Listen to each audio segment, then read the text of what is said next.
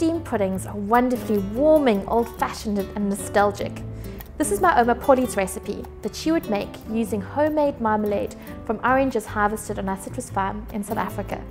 Now she was a champion cook, but even a total beginner can make this recipe with complete ease.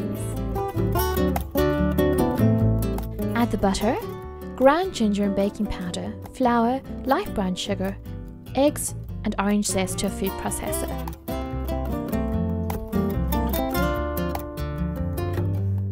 Whiz until smooth and lump free.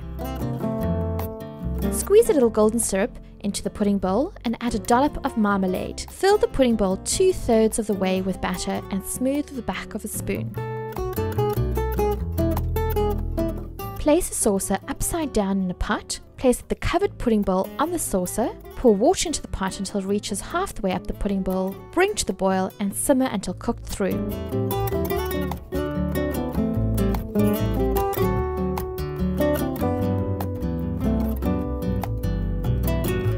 Plate up the pudding, zest over fresh orange zest, and pour over plenty of custard.